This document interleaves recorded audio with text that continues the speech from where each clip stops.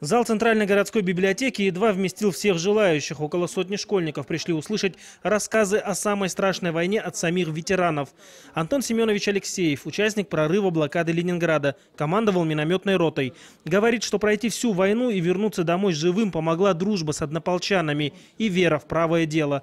Во время прорыва блокады его рота сошлась с немцами в рукопашную. Немец попался сильно, рассказывает Антон Семенович.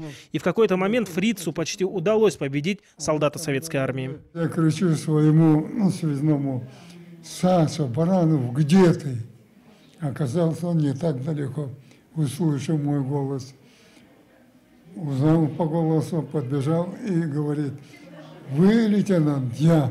Я говорю, достань пистолет из моего этого, с кобуры, застрели его. Он и сделал. Два выстрела сделал в немца, и он сразу отмах. Школьники вслушивались в каждое слово ветеранов, это и понятно, ведь в их рассказах правдивая история Великой Победы нашего народа, без литературных изысков. Ветераны – это великие люди. Нам до них очень расти и расти всем. Они выжили в, этой, в этом блокаде, и даже это, это фантастика, честно, это фантастика.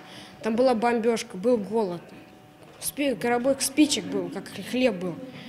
Это, у меня, честно, слов нет. Встреча продлилась несколько часов, и завершая ее, ветераны высказали свои пожелания сегодняшней молодежи. Что им пожелать? Во-первых, ученикам, учащимся хорошо учиться, предметы осваивать как положено, но коллективно трудиться, дружба, чтобы у них была большая. Батр Ламбаев, Максим Махалов. Новости дня.